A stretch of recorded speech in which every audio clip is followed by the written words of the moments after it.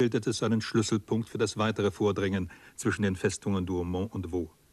Die deutsche Führung will die Einnahme des Dorfes Vaux erzwingen und wirft Regiment auf Regiment in den Kampf.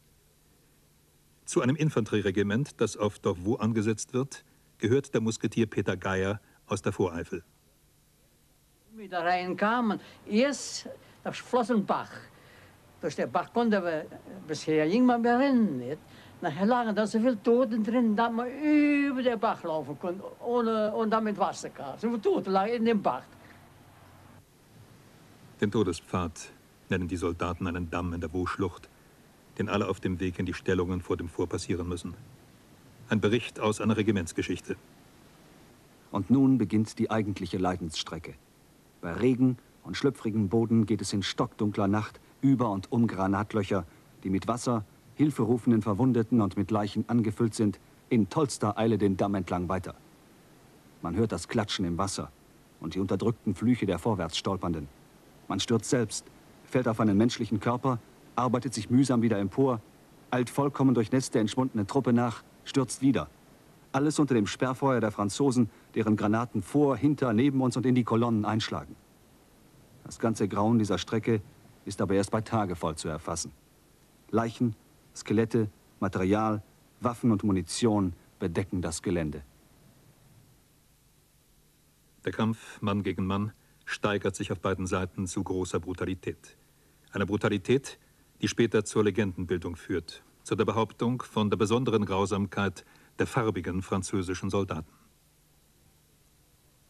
Die, die, die Marokkanen, das war ja Biest, oh, das war ja Biest. Die haben unsere Soldaten da Augen ausgestockt, Ohren abgeschnitten. Von Geschlechtsteildingen abgeschnitten. Da ist auf einmal natürlich keine Gefangenen mehr gemacht werden. Nicht? Und als morgens wieder Befehl kam, denkst du, der, der Bunker müssen wir noch ausheben. Nicht? Die zwei haben es dann mit ein paar Handchen und die paar drin, die wollen, oh, da schrien sie. Das alle, raus, raus, raus. Zwei Männer hatten die zwölf da rausgeholt. Nicht? Durften sie nicht gefangen nehmen, durften sie nicht, äh, mussten erschossen werden. Zum Beispiel, äh, wenn, wenn es dunkel war, nicht? Dann, äh, dann, dann, in der Nervosität, da lagen Pferde, die lagen sechs, sieben Wochen da. Nicht? Die waren ja völlig in Verwesung. Da habe ich immer meinen Kopf in so einem toten Pferd gesteckt. Da hatte ich Bataillonsmeldung damals. Und jetzt sagte, wie sehen Sie aus, Kerl? Sagte für mich. Ja, sag ich, wie sehen Sie aus? Ich habe in einem toten Pferd gesteckt, sagen nicht? Machen Sie, dass Sie rauskommen. Sagte, wo mich nicht da haben. Da stank nicht so viel. Da kann ich auch nicht vergessen. Machen Sie, dass Sie rauskommen, er für mich. Ja. Du bekommst Generalleutnant Schmidt von Knobelsdorf als Chef des Stabes, sagt der Kaiser zu seinem Sohn Wilhelm, als er ihm das Oberkommando über die 5. Armee übergibt. Was er dir rät, musst du tun. Der Kronprinz ist nur nominell der Armeeführer. Als er an dem Sinn des Angriffs gegen Verdun zu zweifeln beginnt, fehlt ihm das Durchsetzungsvermögen gegenüber seinem energischen Generalstabschef. Beide täuschen sich über das wahre Ausmaß der Verluste. Strategische Fehler kommen hinzu. Zu spät erkennt Knobelsdorf, dass sie die Forts auf dem linken Ufer in ihrer Feuerkraft unterschätzt haben. Aber hier wollten Falkenhayn und Knobelsdorf nicht angreifen, um Truppen zu sparen. Richard Friedenthal. Das Angriffsziel war ein mythisches, während die Franzosen sehr bewusst und intelligent die ganze Festung Verdun umgewandelt hatten in eine, wie sie das nannten, Région fortifiée. Das heißt mit Feldbefestigung, Blockhütten, Schützengräben und so weiter. Und die waren durch die Feuerwalze gar nicht erreicht. Die mussten einzeln genommen werden. Und da waren schon gleich die ersten schweren Verluste. Die Franzosen waren sehr zäh. Und in dieser Art Feldbefestigung waren sie sogar uns weit überlegen im Ausbau von solchen Sachen und auch in der Verteidigung und im Kampf da, also in den, halb zerstörten Gräben, Netzen und Stützpunkten. Da kannten sie sich natürlich auch viel besser aus als wir als Angreifer. Wir stießen da in eine Sache hinein, wo man gar nicht wusste, keiner mit dem anderen Kontakt hatte. Die Leitung und die Durchführung waren jämmerlich. Jämmerlich. 1919 erscheint in Deutschland das Buch Opfergang von Fritz von Unruh. Sein Bruder berichtet, wie es zur Niederschrift der Erzählung kam. Und als nichts erreicht wurde, die Verluste immer größer wurden, die Heimat ungeduldig wurde, weil es hieß, warum rückt ihr denn da nicht vor oder so und diese ganze Stil. Und da hatte die oberste Heeresleitung sich von durch das Kriegspresseamt einen Schriftsteller nennen lassen, der imstande wäre, der Heimat einen Begriff von dieser Schlacht von Verdun zu geben. Und die Wahl fiel auf Fritz von Unruh. Und mein Bruder hatte dann eine Besprechung im Hauptquartier und er bat sich aus und sagte, dass er nichts schreiben würde, was gegen die Wahrheit oder gegen sein Gewissen wäre. Ja, ich muss das sagen. Und da wurde ihm noch gesagt, ja, Sie glauben doch nicht, wir haben alles beschlagnahmt, jedes Kraftwerk, alles. Da werden doch Sie nicht wohl eine Ausnahme machen wollen. Und, aber der Kronprinz war dafür, dass er das schrieb. Und er hat dann dieses Buch, er bekam dann einen Pass, dass er zu jeder Tages- und Nachtzeit, zu jeder Stellung, jedem Graben, zu jedem Stab hinfahren könnte und sich orientieren. Er hat also dann dieses Buch im Lauf von vier Wochen gestaltet, geschrieben. Und dann kam es, hatte der Kronprinz zu einer Vorlesung eingeladen, seinen Stab und so weiter. Und da hat mein Bruder ein Kapitel daraus vorgelesen. Und der Kronprinz war sehr ergriffen davon. Aber die meisten fanden es nicht äh, also so, wie sie sich das vorgestellt hatten. Und so wurde dann dieses Buch verboten. Vom Geist des Expressionismus mit seinem Menschheitspathos geprägt, stellt Fritz von Unruhs Erzählung Opfergang den ersten Reflex auf den Weltkrieg dar. Sieger ist der Trommler tot.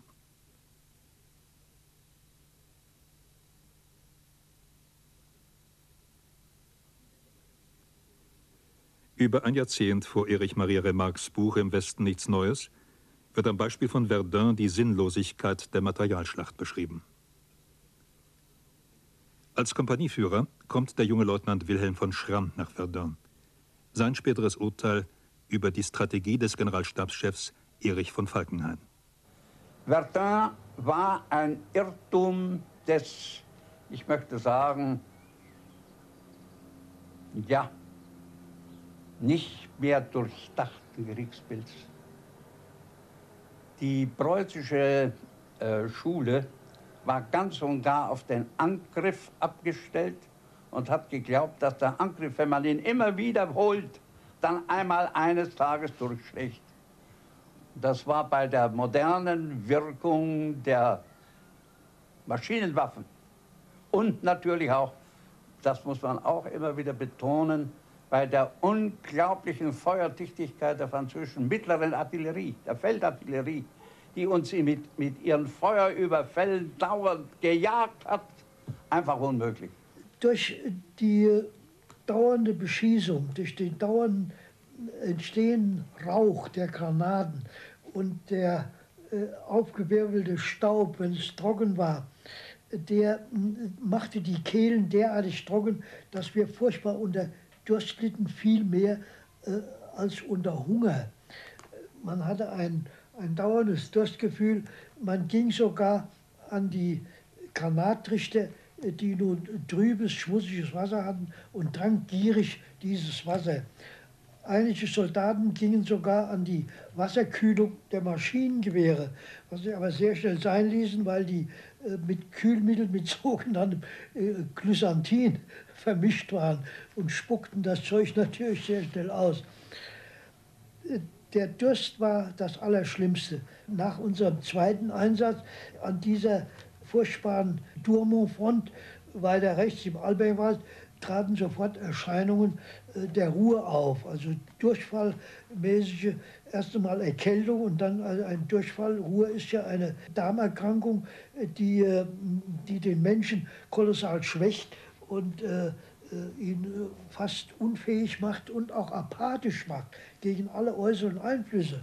Man wird äh, gleichgültig, man, es ist einem alles egal, man möchte am liebsten liegen bleiben und möchte sterben. Im März 1916 war klar, dass es unmöglich gewesen ist, die Franzosen erstens einmal zu, aus, der, aus ihrer Position zu verdrängen zweitens einmal einen erfolgreichen Angriff zu führen, weil das Gelände, das Wetter, der Widerstand der Franzosen, vor allem auch durch ihre leichte Artillerie vom linken Marsufer her, jedes weitere Vordringen unmöglich oder mit so ungeheuren Verlusten verbunden hatten, dass jeder Meter Boden so und so viel Tote kostete.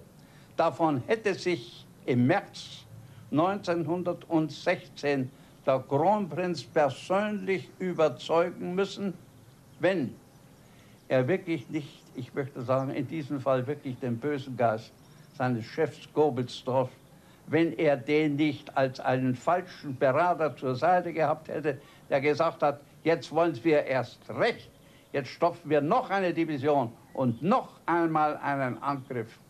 Und es ging nicht voran, sondern es ist immer bloß, immer bloß um Schritt, Schritt, Schritt gleichsam ein, Leichen, ein neues Leichenfeld entstanden. Von dem Dorf Durmo im Alberwald äh, sind wir nachher äh, mühsam rausgekrochen und haben uns oben an der Chambrettferm äh, gesammelt und haben uns gegenseitig gestützt weil einzelne Leute so schwach waren, dass sie nicht mehr gehen konnten. Wir hatten hier immerhin unsere Tornister und unsere Gewehr zu tragen, schweren Patronentaschen, Handgranaten und so weiter mussten wir ja mitschleppen. Also wir haben uns gegenseitig gestützt und sind an dem Morgen des äh, 12. oder 13.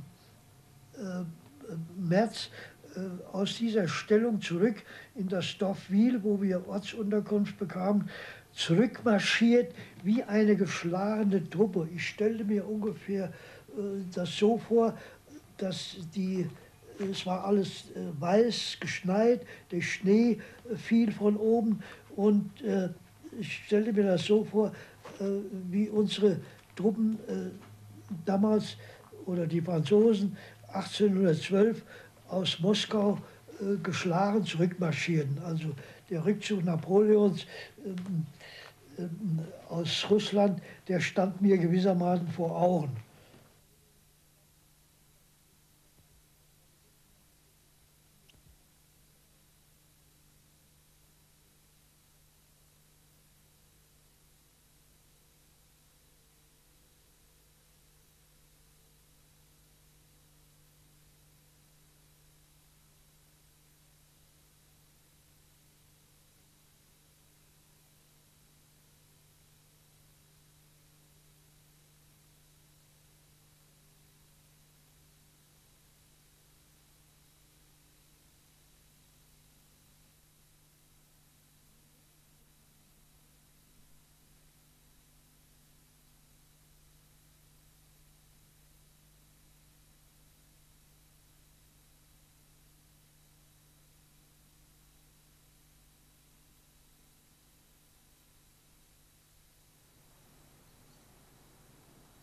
Landschaft bei Verdun, über ein halbes Jahrhundert nach der Schlacht.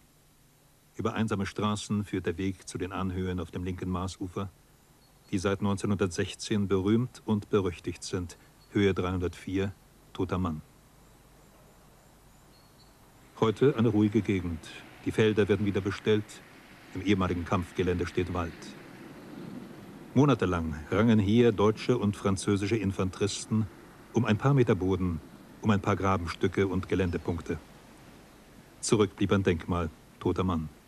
Errichtet zur Erinnerung an Frankreichs Gloire, heute eher ein Symbol für den Sieg des Todes über das Leben.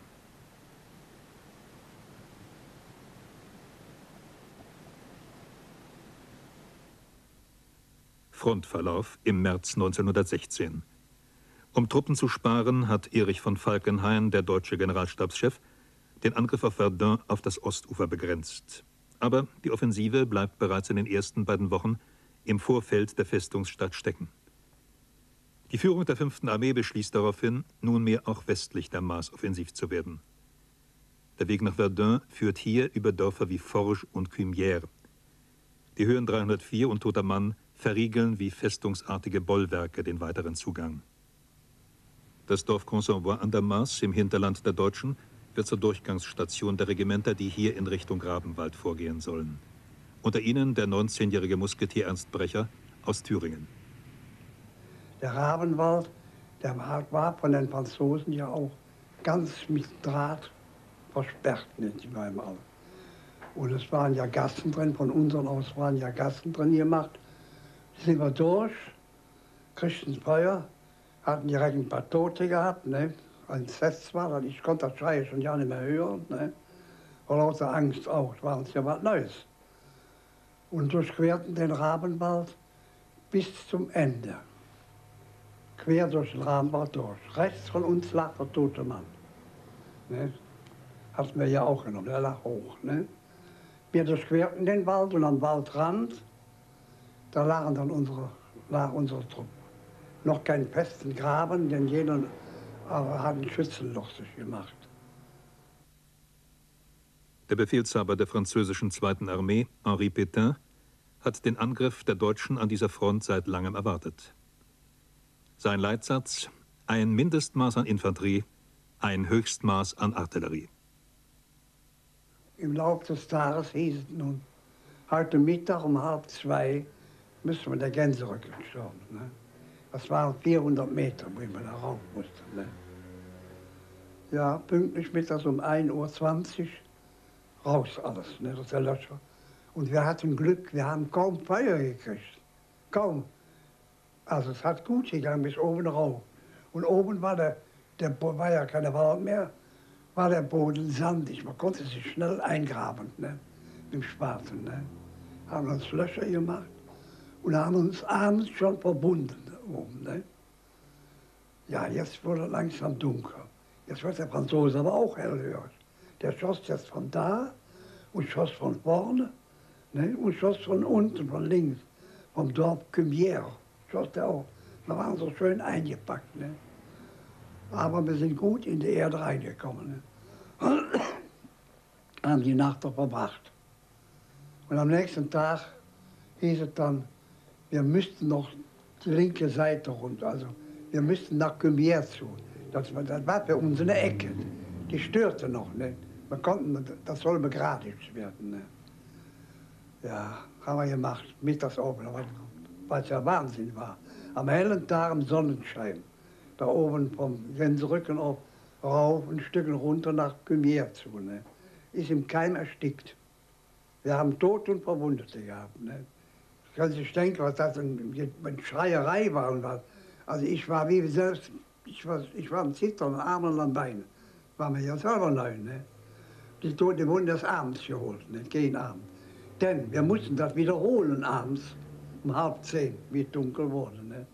Wurden die verbunden, das Zeug weggeschafft und wir raus. Da sind wir aber auch bloß ein paar hundert Meter weit gekommen. Da kriegst du mal ein derartiges Flankenfeuer, ne? und auch von der Höhe 304 mit MGs. Wir mussten wieder, wieder zurück, alles weg. Es ging nicht weiter, war Schluss. Es war ja überhaupt in Kiew, nachdem wir das nicht genommen haben, später, war Schluss, war Grenze. Da ging nicht mehr weiter nach Wettingen, da war Stillstand. Also mit anderen Worten Stellungskrieg. Ne? Haben wir uns da eingebuddelt. Als auch auf dem linken Maasufer der Angriff stecken bleibt, unternimmt die Armeeführung neue Anstrengungen auf dem Ostufer, um die Verteidigungsstellungen der Franzosen zu durchbrechen. Erneut werden Divisionen in die Schlacht geworfen, die bereits hohe Verluste erlitten haben und zur Auffrischung in Ruhelager verlegt wurden. Unteroffizier Ernst Weckerling, Angehöriger eines hessischen Regiments, berichtet von den Vorbereitungen, zu denen der Besuch des Kaisers gehört. Wir sollten also äh, in Carré vor Kaiser Wilhelm aufgestellt werden und sollten dann in Kolonnen an ihm vorbeimarschieren. Nun wurde fieberhaft an der Uniform gearbeitet. Die Uniformen, die durch den langen Kampf gelitten hatten, ähm, wurden ausgebessert, die Stiefel wurden äh, wieder schwarz gemacht, die äh, sonst sehr grau und schmutzig waren. Äh, einzelne Leute, die zerschlissene Kleider hatten, bekamen neue Kleider.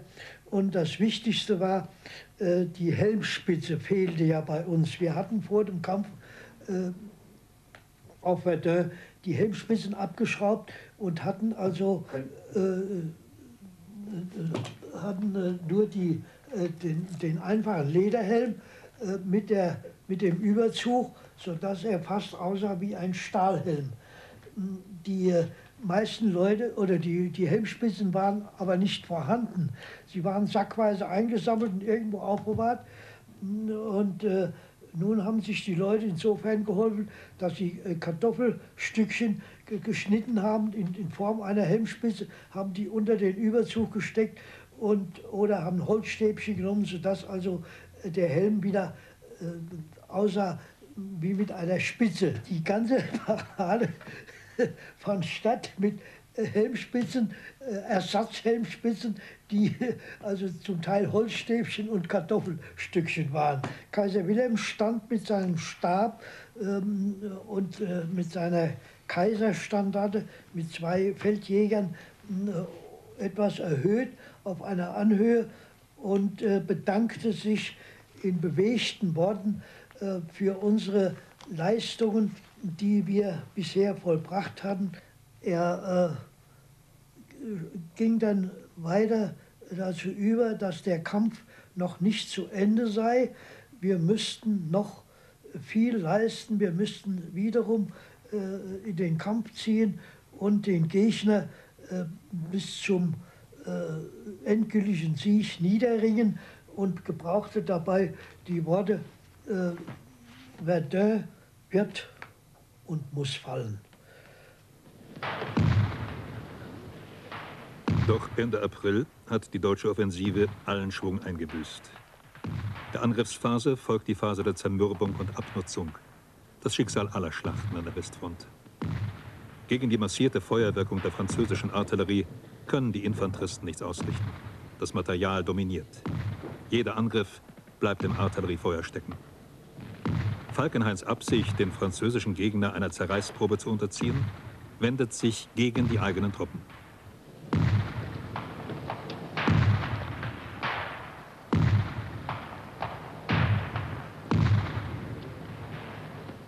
Die französische Artillerie zerschlägt mit einem beispiellosen Munitionsaufwand die Ortschaften hinter den deutschen Linien, zum Beispiel das Dorf Orn. am Eingang einer Schlucht gelegen, durch die eine wichtige Straße läuft, dient es als Durchgangspunkt für Nachschub und Ablösung. Unterkünfte gibt es nicht mehr.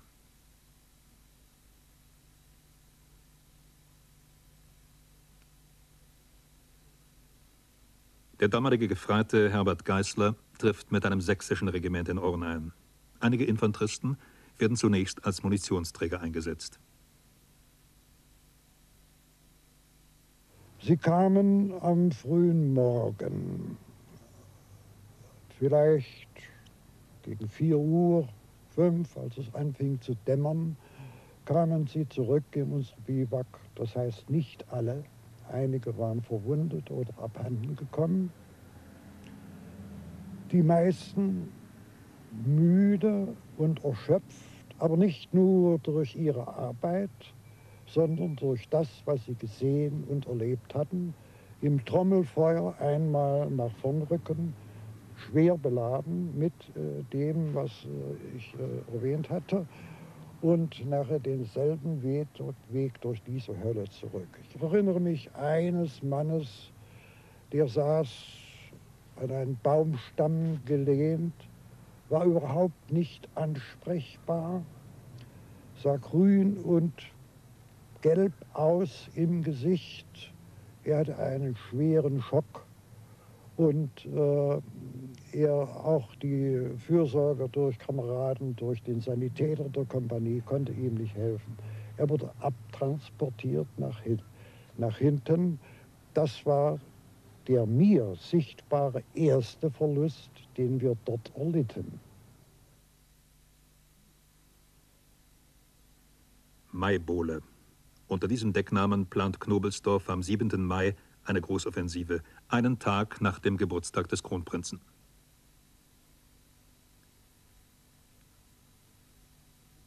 Am 8. Mai erschüttert eine gewaltige Explosion das Fort Douaumont, das den Deutschen seit der Einnahme Ende Februar als unterirdische Kaserne dient. Infanteristen, Sanitäter, Pioniere, Stabsoffiziere, die auf ihren Einsatz warten, fallen der Explosion zum Opfer. Annähernd 700 Tote werden geborgen.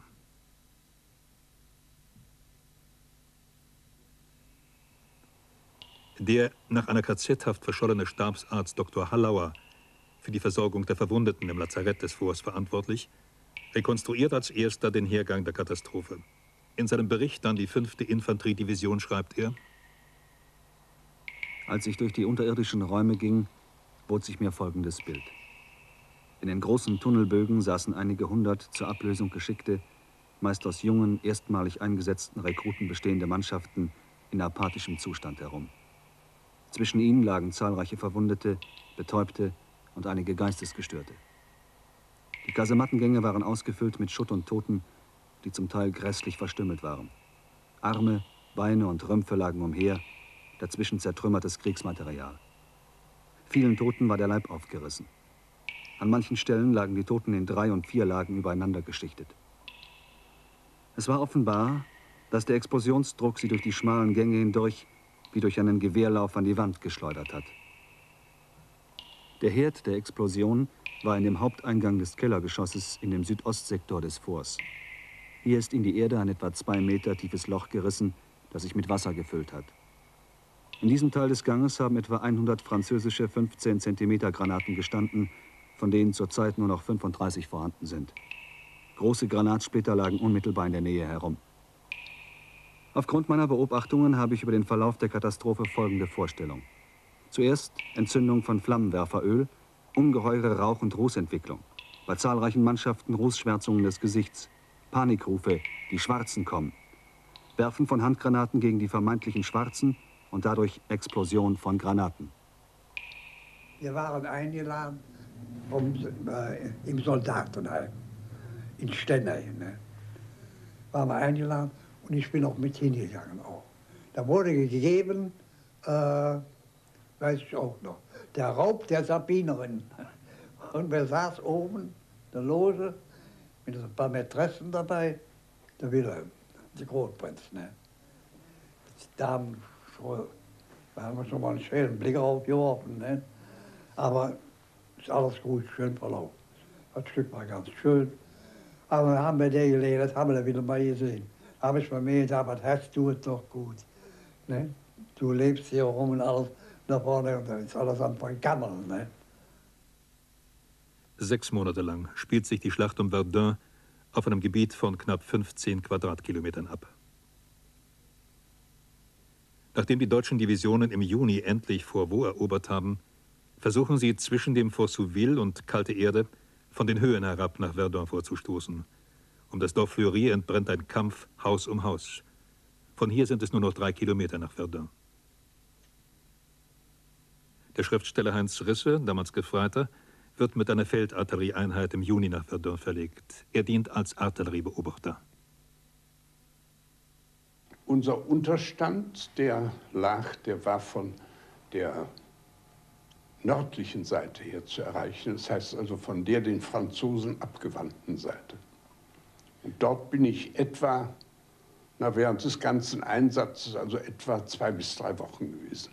Länger wurden dort in der Hauptkampfzeit Divisionen kaum eingesetzt, denn die waren bei, dem ständigen, bei den ständigen Kämpfen waren die rasch ausgebrannt. Nicht die Angriffe selber führen zu den hohen Verlusten im Stellungskrieg, sondern der Aufenthalt im Frontbereich und die Bewegungen zwischen der ersten Linie und dem Hinterland. Vor allem die Versorgung der Stellungstruppen ist von dem Granatfeuer betroffen. Der Infanterist Albrecht Brecher.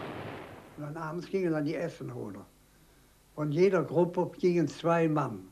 Die mussten den Weg, den wir gemacht haben, wie ich ihn beschrieben habe, hierauf, den langen Weg machen bis zur Artillerie, zum Pionierpark, bald nach Consamboy. Bis dahin kamen die Feldküchen und die konnten ja nicht fahren. Ne? Die Chaussee lag ja nur im Feuer. Von Forgers, so hieß das Dorf. Ne? Die, lagen da, die kamen dann all den Weg da runter getippelt ne? und haben dann Essen geholt. Das hat ja Stunden gedauert. Und meistens waren die Kochgeschirre nur halb voll. Ne? Ja, durch das, sie mussten sich ja dauernd hinwerfen, ne? durch das Feuer. Ne? Äh, und äh,